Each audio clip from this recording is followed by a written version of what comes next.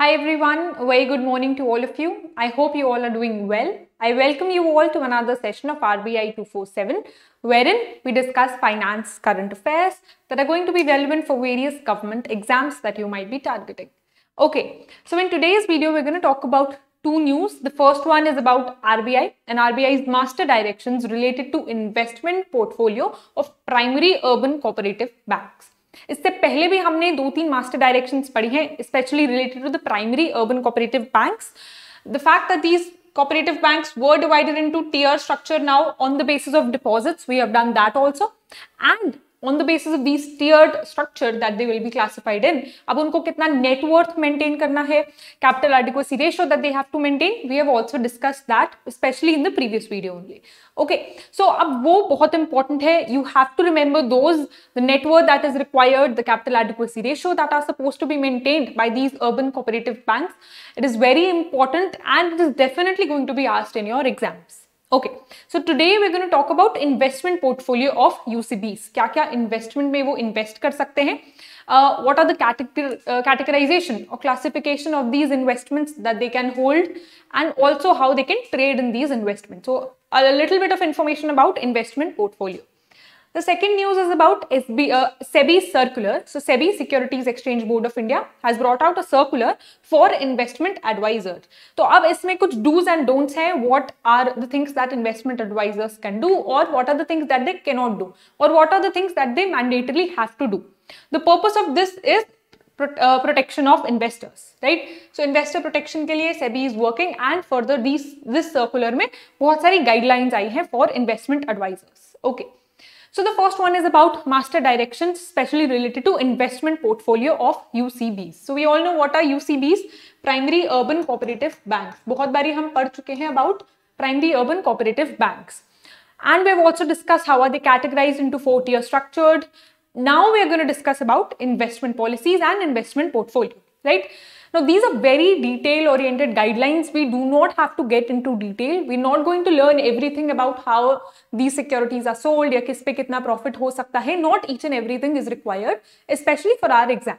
But if you're working in a UCB or if you are interested you know, in sale purchase of government securities or anybody, if you're working towards the sector of investment or या फिर UCBs में आप काम करते हैं, this can be important for you. However, they're never asked in your exam. especially the detailed oriented guidelines or detail oriented you know specifications are not asked right तो हम generally इन पूरी guidelines को समझेंगे what are investments how are they classified can they be shifted from one classification to another how can they do that how can UCBs do that right so generally हम पूरी guidelines को समझेंगे from a broader perspective we will also discuss कौन कौन से point exam में आने के ज़्यादा chances हैं right okay so the first one the सबसे पहले हम पढ़ेंगे what is investment policy so every bank और any company anything that you are investing in और that you are working towards on a regular basis तो एक कोई भी बैंक है they are making investments on a regular basis आप investments करते रहते हैं।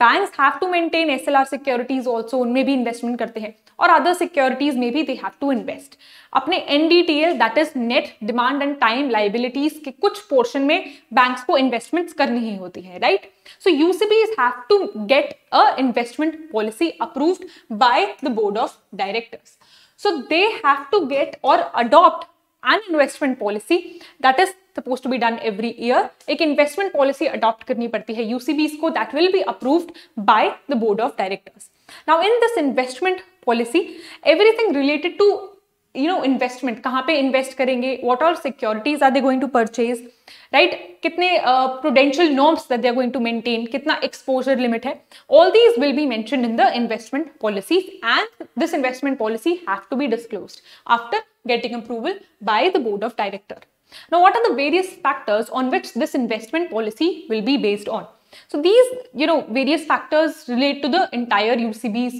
उसकी functioning टैक्स स्ट्रक्चर क्या है आईटी लॉस क्या है आईटी इंफ्रास्ट्रक्चर जो मेंटेन कर रहे हैं so there are various factors on which this investment policy of the UCBs will be, you know, these factors will be taken into account and उनके basis पे UCB की investment policy will be maintained. Right? So it shall be in the accordance of various factors like size, complexity, business, etc. Okay. Now what shall this investment policy include so बहुत सारी चीजें हैं that this investment policy is suppose to you know include for example कौन कौन सी securities में investment हो सकती है right What are the prudential norms that they have to follow कितनी सिक्योरिटीज में कितना इन्वेस्ट करना है?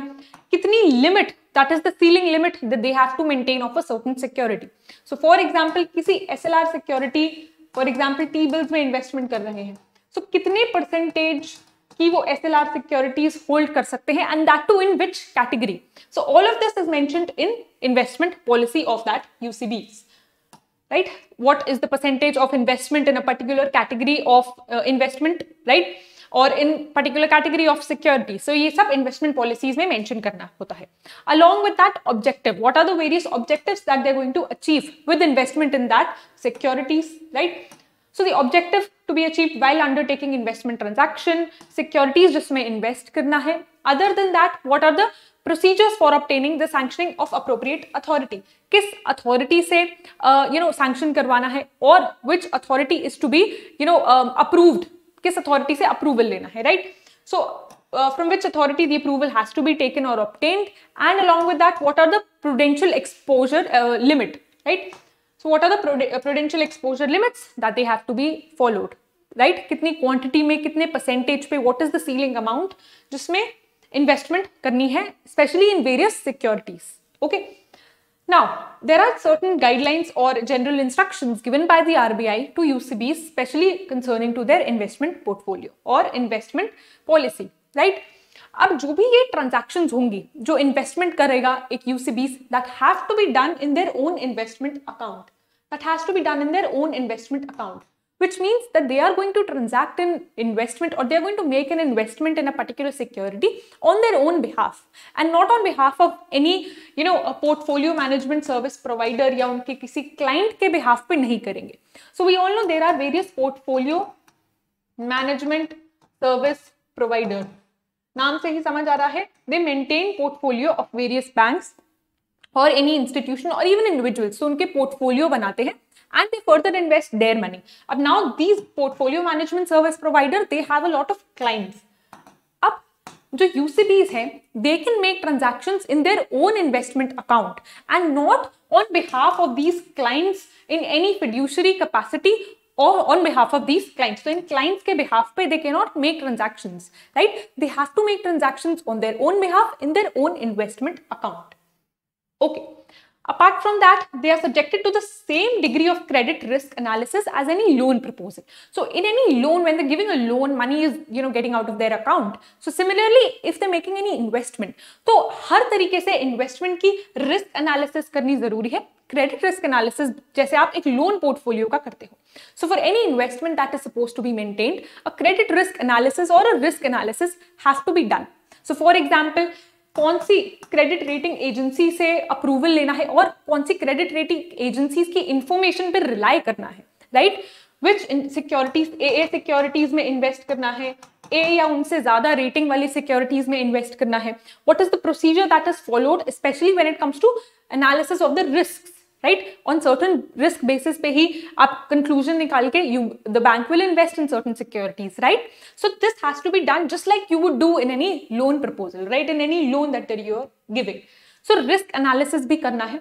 Apart from that the also have to look at the list of defaulters that are given by CICs that is obtained by credit information company so credit information company जो कि एक defaulters की list देता है so for example if you have invested in any corporate bond or any corporate debt security right and this corporate any this company has defaulted that information you can get from a CIC now UCBs have to rely on such information or obtain such information from the CICs obtain information of the defaulters of CICs sorry, defaulters of various securities that are, the information is obtained from the CICs. So you have to, you know, take into consideration the list of defaulters, refer to this list and then come to a conclusion when you are deciding the investment. Apart from that, internal credit analysis आप already a credit rating agency पे rely करोगे the UCBs will you know uh, already rely on any credit rating agencies but apart from that over and above that the credit rating agency की rating पे over and above you have to have an own or internal credit rating analysis right? And such decision should be taken on various measures. For example, past performance of that, uh, either if it's a defaulter or any other, uh, you know, somebody, a company that is uh, when issuing those bonds. So if you want to invest in any bonds of a particular company, right? So what has been the past performance credit history of that particular company? On the basis of certain other factors, you will have an own internal credit risk analysis, credit analysis, right? Credit rating analysis. And on the basis of that, you will come to a conclusion. The UCB will come to a conclusion when it comes to investing. Okay. Then UCBs shall also ensure, in, this is the internal credit rating system that we were talking about. Okay. Now, apart from that जो भी investments हैं investment in various securities it has to be maintain in demat account so पहले क्या होता था? This would also be maintain in physical balance अब इसमें एक फ़िज़िकल आपको सर्टिफिकेट्स या वॉर्न इशू होते थे जिसने ये पता लगता था that you are the holder of that particular security, right? So you're the holder or the bearer of that particular security. So you had to get certain certificates, right? Physical form mein, uh, you were supposed to get certificates or warrants that were proof that you are the holder of the certificate or owner of the security currently, right? So now this has to be done in a digital format in DMAT form. So just like, you know, an investor in a stock market, when you're investing or when you want to open a DMAT account, right? You get securities in a DMAT form, in a digital form, and not in a physical form, in, in the form of a certificate, right? So DMAT form mein aap ek depository participant mein aap DMAT account banwate hain. Similarly, UCBs also have to hold investment in various securities in DMAT form. So I hope ye general guidelines samaj aa gayi. We'll move forward from that. Okay. Now, how are these investments categorized? We all know this, हम ये बहुत बार पढ़ चुके हैं. So, investments are categorized into HTM, available for sale and held for trade. नाम से ही समझ आ रहा है. When we're talking about held to maturity, we mean that any investment that the bank has invested in that is supposed to be held till maturity date, right? So, जो उसकी maturity date होगी, तब तक if you're you know aiming to hold that investment that security till the maturity date, it will be classified under the investment will be classified in the HTM category. Similarly, held for trade means that you're going to take, uh, you know, you're going to factor in the in, uh, the interest rate or the price rate that is availing and you're going to trade in that security. So any investment that is done with the aim of trading, एक कोई security अगर खरीदी है with the aim of trading for further in let's say 90 days के अंदर अंदर अगर आपको trade करना है, right? taking benefit from the price fluctuation. So if you are trading in any security, that investment is held for trade. Apart from that, there is available for sale. So जो भी कोई security HTM या HTF में नहीं आती, yes, held to HTM and HFT में नहीं आती, that will be in available for sale. Okay.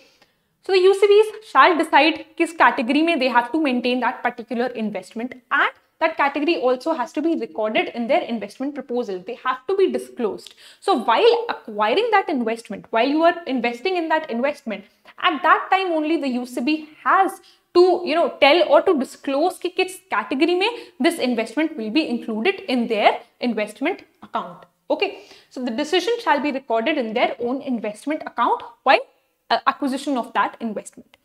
Let's come to the various categories. So the first category is held to maturity. We understood what does it mean. So securities that are acquired for the purpose or the intention of holding them up till maturity. Now, up held to maturity ke andar, what is the percentage of securities that they can hold?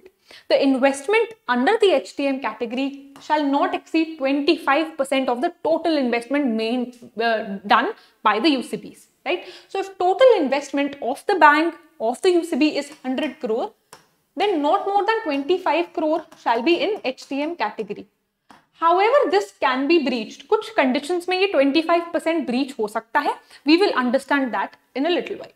पहले एक बार देख सक देख लेते हैं H T M categories में कौन कौन सी सिक्योरिटीज आएँगी so what are the eligible securities securities that are eligible to be part of और including in the H T M category so the first one is S L R securities कुछ permission लेनी पड़ेंगी, कुछ regulatory you know authorization हैं। And you know yes to the extent permitted so जो extent permitted है in the S L R securities by the R B I going forward सिर्फ़ under that permission or under that category only SLR securities can be maintained.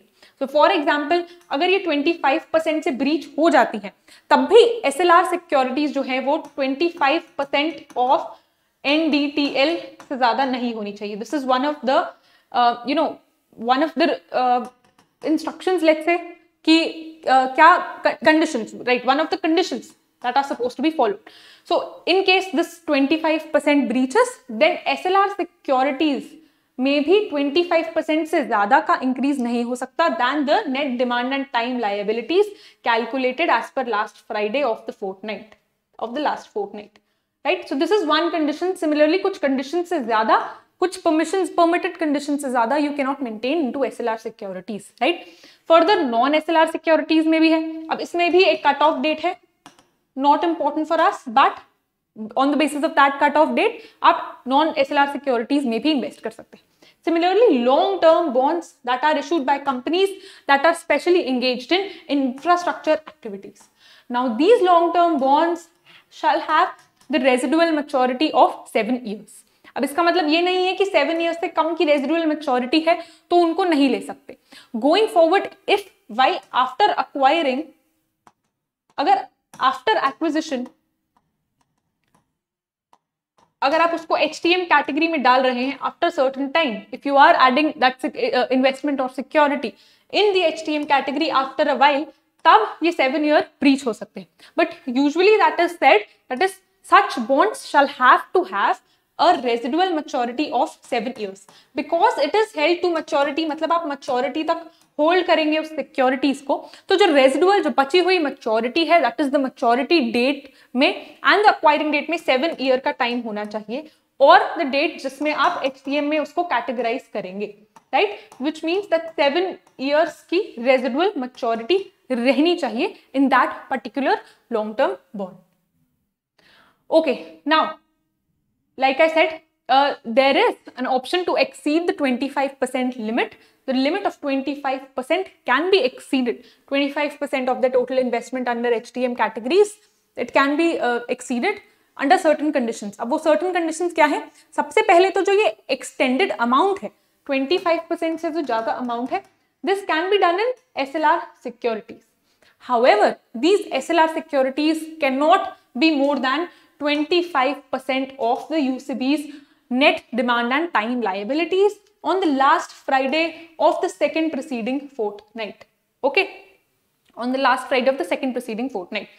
तो जो S L R securities में if you breaching this 25 percent limit so 25 percent you have to maintain in H T M category right इससे ज़्यादा नहीं maintain कर सकते minimum है okay so इससे कम मेंटेन कर सकते हैं not more than that so this is the maximum amount right this is the limit how if you want to breach if U C B want to breach this limit they can do so only if the security is S L R security but a condition that this the entire S L R securities the total S L R securities held by the U C Bs in the H T M category shall not be more than twenty five percent of N D T L N that is as per the last Friday of second preceding fortnight. What is NDTL? Net demand and time liability. I hope ये सबको पता होगा net demand and time liability banks के जो deposits होते हैं demand deposits time deposits FDs right तो उनका जो एक वैल्यू आता है, जो नेट वैल्यू आता है as per the last Friday of second proceeding fourth उसके बेसिस पे कैलकुलेट होती है एस एल आर सिक्योरिटीज ठीक है? It should be not more than twenty five percent of UCBs NDTL as per the last Friday of second proceeding fourth now उसके अलावा कोई ऐसी इन्वेस्टमेंट करी है यूसीबी ने under targeted long term repo operation right that can also be included अब, अगर H की कैटेगरी की सिक्योरिटी में प्रॉफिट हुआ है this profit on sale profit on sale of any investment from the HTM category, this will go to the PNL account and going forward, it will be appropriated in the capital reserve.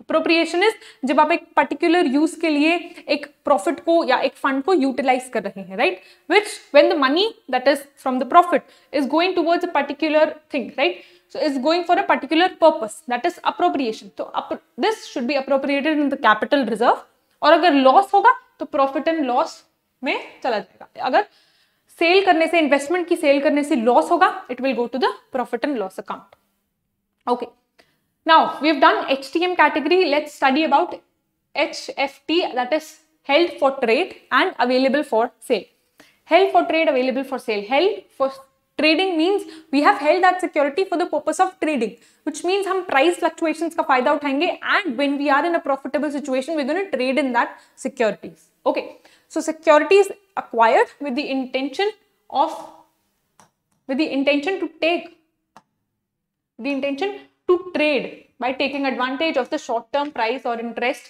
rate movements that are classified in HTF. The investment classified in the HTF shall be sold within 90 days. So 90 days के अंदर अंदर you have to sell this security. That is only तभी वो HFT category में आएगी. Otherwise available for sale में चली जाएगी, right? Okay. Now the securities which do not fall in either of these H, HFT में भी नहीं है, HTM में भी नहीं है, held to maturity में भी नहीं है, तो वो available for sale पे चली जाएगी, right? These securities are available for sale.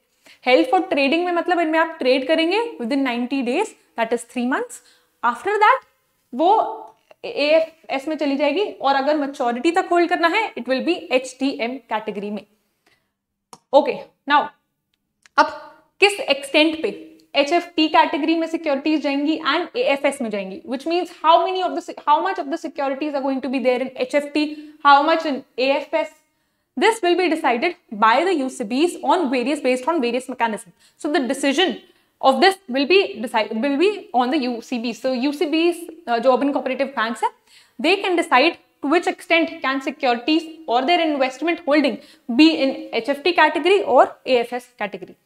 Right, so UCBs shall have the option to decide to the extent of investment in the uh, HFT category and also in AFS category. This decision is on various aspects based on various aspects for example जो tax planning है similarly uh, उनका intent क्या है what is the intent of holding the security do they want to uh, keep it for trade within 90 days or they want to you know uh, make it available for more than 90 days right क्या trading उनकी strategies है? क्या current market mechanism है? Is there any expectation of rise in prices so they can sell in next ninety days so certain basis पे their decision is going to you know be affected by okay now the profit and loss on this अब H T M में हमने पढ़ा था profit and loss after being there in the profit and loss account it is going to be appropriated in capital reserve but any profit and loss in case of H T M HFT or AFS. Any profit and loss in case of F F HFT and AFS will be done in the profit and loss account, right? It will be taken to the profit and loss account. Okay. Now the question comes, can they shift a security that is currently maintained in HTM category to any other category? So that can be done. UCBs have the option to shifting the securities from one category to another category, right? So to and from HTM category ho sakta hai, but approval लेना पड़ेगा board of director का once a year and this shift can be done in the beginning of the year so this shift is done in the beginning of the year उसके बाद आप नहीं कर सकते okay and book value and market value in दोनों का जो भी लोअर अमाउंट होगा let say book value of a security is rupees twenty five thousand and market value of one particular security is let's say twenty two thousand तो आप market value पे लेंगे। अगर बुक वैल्यू ट्वेंटी टू है and market value twenty five है तो आप book value पे लेंगे।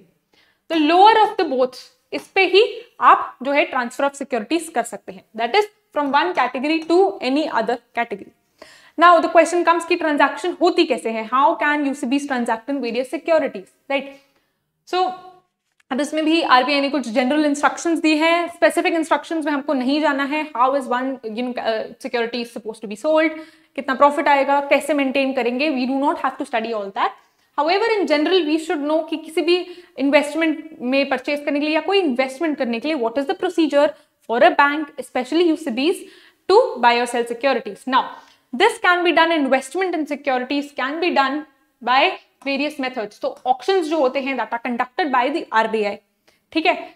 या फिर सेकेंडरी मार्केट ट्रांजेक्शन में भी। सो प्राइमरी मार्केट में या सेकेंडरी मार्केट में investment by any UCBs can be done and this can be done through N D S O M I hope आप सबको पता होगा।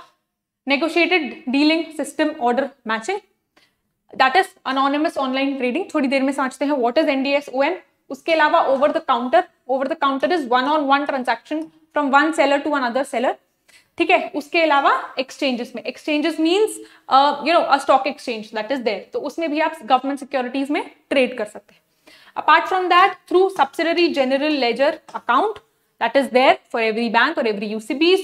Gilt account opened with entities eligible to open CG, CSGL. समझ लेते हैं ये सब क्या है एक बार तो सबसे पहले समझते हैं what is S G L subsidiary general ledger account so what happens is R B I issues securities on behalf of the government we all know that right R B I issues various securities T bills issues करता है R B I right so if any bank wants to purchase from R B I R B I has given this this responsibility to P D O public debt office right so ये P D O public debt office को ये responsibility मिली गई है। To maintain an account of every bank that is purchasing or selling securities, government securities. So SGL, that is subsidiary general ledger maintain करा जाता है यहाँ लिख देते हैं subsidiary general ledger is maintained by the PDO. अब इस ledger में it is just like a ledger that we use to study in accountancy right एक खाता है एक अकाउंट है of every bank of every bank and इस खाते में क्या रिकॉर्ड होगा? The sale and purchase of government securities या कितनी government securities are held by this particular bank and कौन कौन सी गवर्नमेंट सिक्योरिटीज है? So let's say 91 day T bill है 182 डे टीबिल है. कितने हैं? All these are maintained in this ledger right by the PDO अब हर कोई बैंक का SBI का अलग है, हर किसी बैंक का ये लेजर अकाउंट अलग है that is maintained right so on in this ledger account your you know the securities that you are purchasing और दैट यू आर सेलिंग तो उसके अकॉर्डिंगली क्रेडिट एंड डेबिट होता रहता है। This shows how much you know securities are maintained by this particular bank right और कितनी securities का ये बैंक ओनर है right so this is subsidiary general ledger account ठीक है? आरबीआई जो मेंटेन करता है, ठीक है?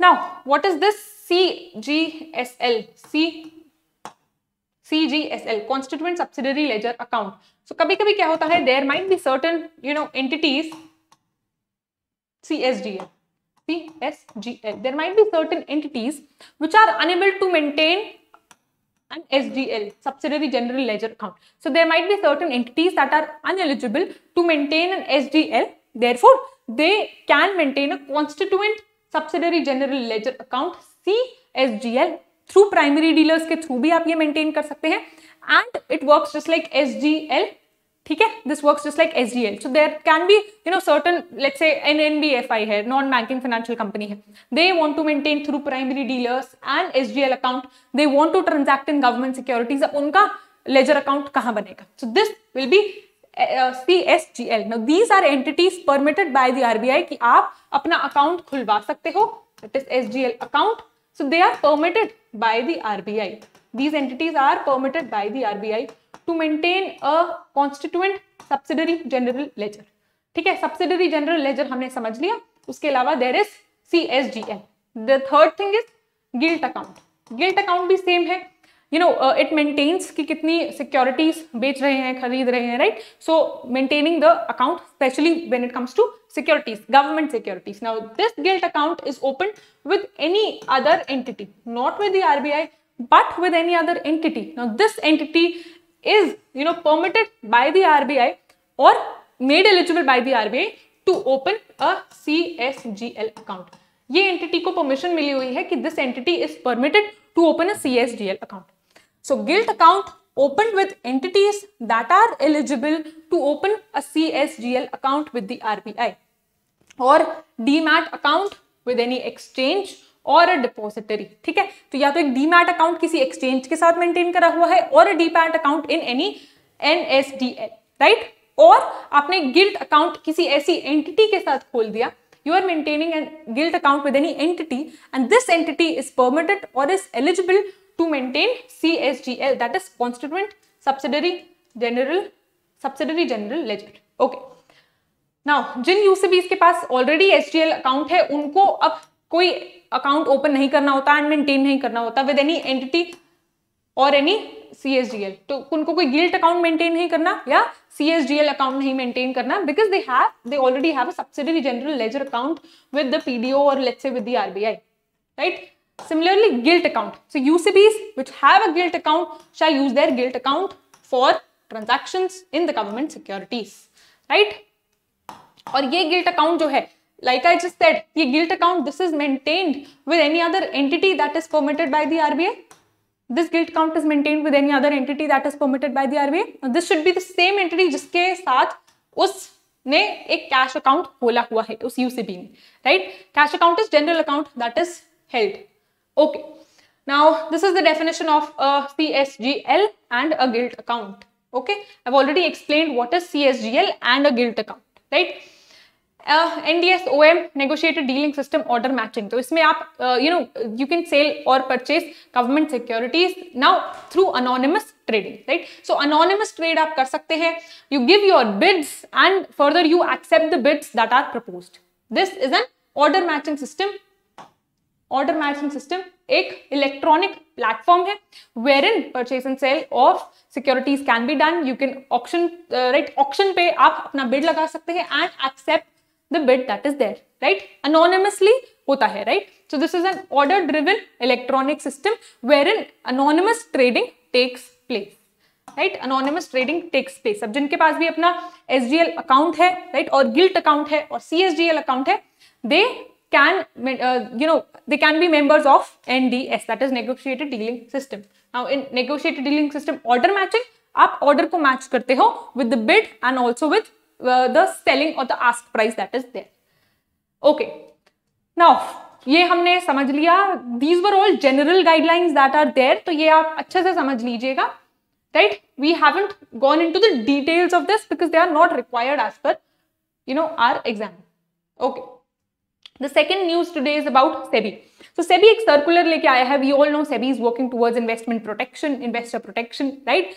So कुछ there are certain companies, there are certain investment advisor जो अपने clients को या investors को they advise on which securities you should invest in और कौन सी आपको किस stocks में आपको invest करना चाहिए right so they are investment advisers नाम से ही समझ आ रहा है they are investment adviser they advice through various mechanisms right S के थ्रू आपको एडवाइस करेंगे एड्स के थ्रू आपको एडवाइस करेंगे right so probably social media platform के through they will advise you to invest in certain securities और in certain stocks right so RBI the SEBI wants की investors protected रहे and for that SEBI has come up with certain guidelines सबसे general guidelines तो क्या होती है? Basically misleading information नहीं देनी है right you do not have to say you know an investment adviser cannot say we are the number one investment adviser और this is the number one investment और the best investment तो ऐसे कोई words आपको नहीं use करने हैं।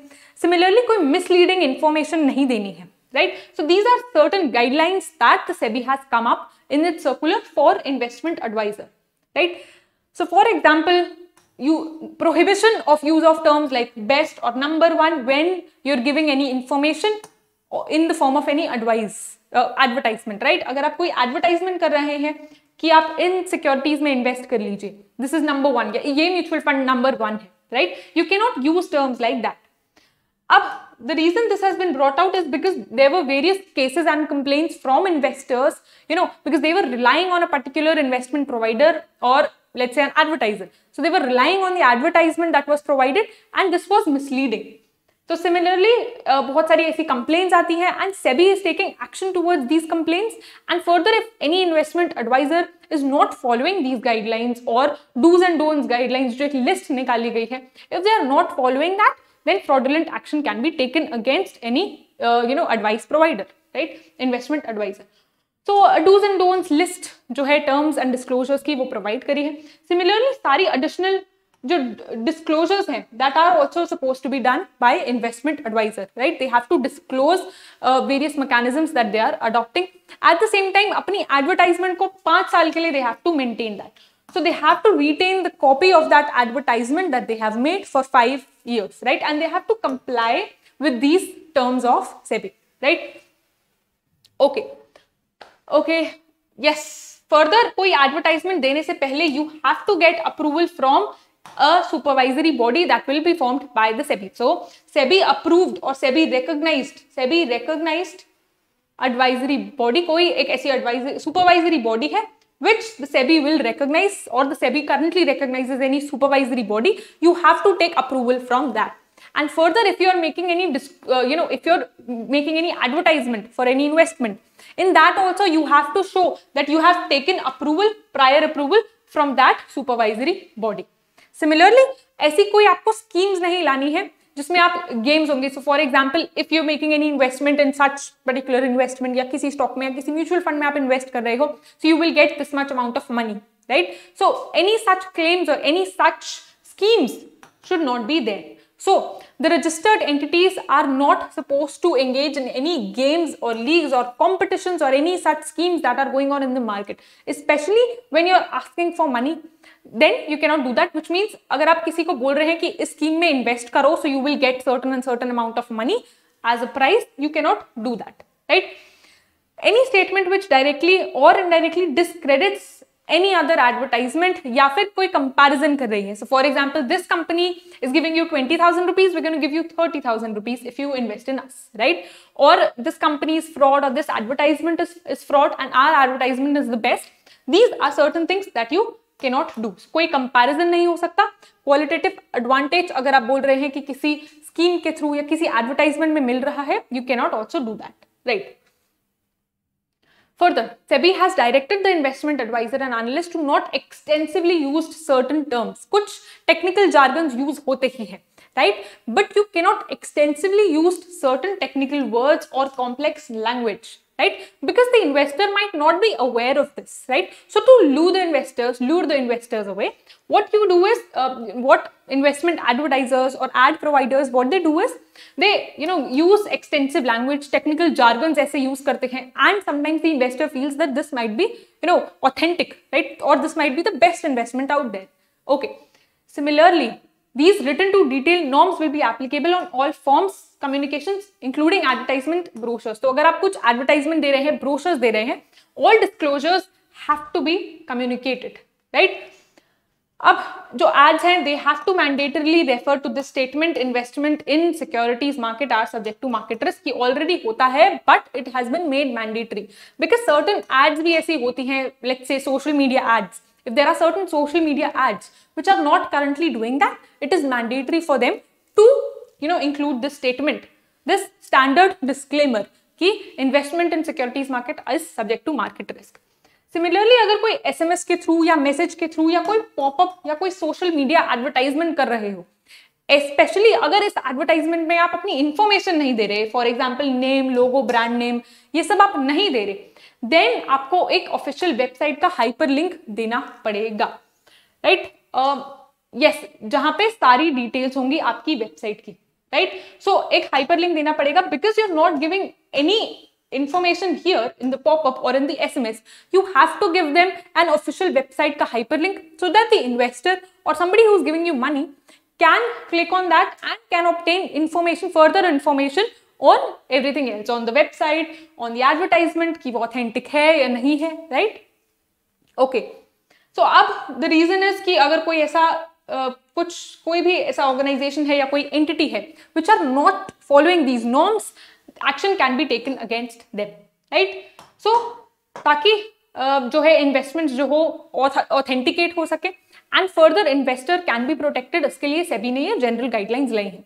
Now this uh, was somewhat similar to this. That's why I have included this. This is not relevant for your exam, but definitely relevant for your general knowledge. So, Advertising Standard Council of India एक voluntary regulatory authority है regulatory authority for advertisements in India so it is working towards advertisements so ये भी recently in the month of February they uh, in the month of March only they came up with certain educate uh, guidelines for advertisement, especially for the edutech companies. So edutech companies, education institutes, what they do is they give you a lot of advertisements wherein they mention very bright things ki you know if you study here you'll get definite job placement या इतने की आपको package definitely मिल जाएगा so कुछ guidelines ASCI भी लेके आया है they have also introduced certain guidelines for the edutech companies especially towards advertisements right so for example कोई ऐसे अब आप क्लेम नहीं कर सकते अबाउट जॉब प्लेसमेंट और कोई guaranteed job placement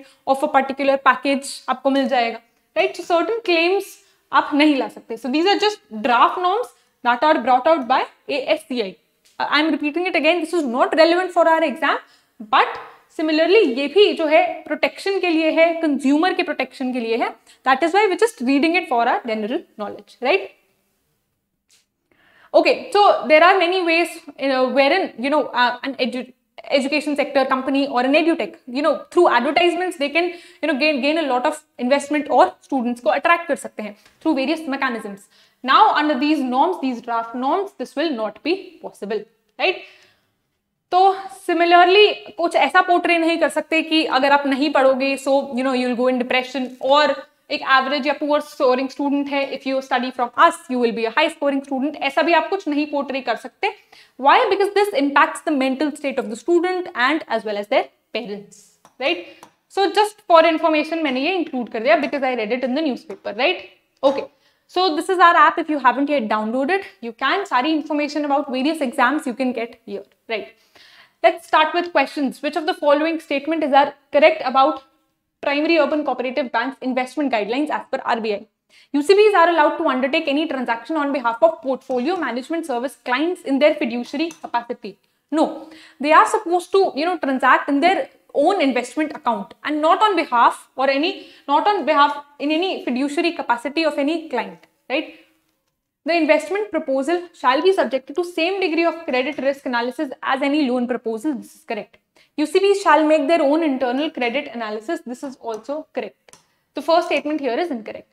Which of the following statement are correct about classification of investment of UCBs?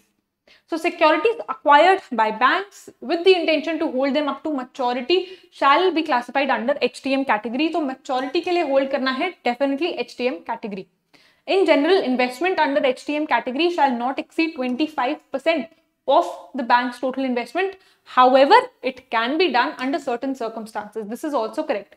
UCBs cannot invest in long-term bonds issued by companies engaged in infrastructure activities. No, they can do that under HTM category. ठीक है seven year की residual maturity होनी चाहिए of that particular long term bond okay which of the following statement is are correct about investment of UCBs. In general, the investment classified under HFT shall be sold within 90 days. This is correct. Held for trading. Profit and loss on sale of investment in HFT and AFS shall be taken to the profit and loss account. This is correct. UCBs shall have the option to shift investment to and from HTM category with the approval of board of directors once a year. तो क्या वो shift कर सकते हैं? The answer is yes. Okay. Recently, SEBI proposed new guidelines or reforms or measures for investment advisor. Which of the following measures are mentioned by the SEBI in the circular? The registered entities have been directed not to engage in games, leagues, competitions, etc. This is correct. SEBI has directed the investment advisor and analyst to not extensively use technical terminology. This is also correct. Investment advisors are not mandatorily required to mention about risks involved as investment. This is incorrect. They have to mention that, you know, uh, investment in securities market are subject to market risk. This they have to mention. So this statement here is incorrect. Okay. So this was the last question for the day. I hope you liked the session. Thank you.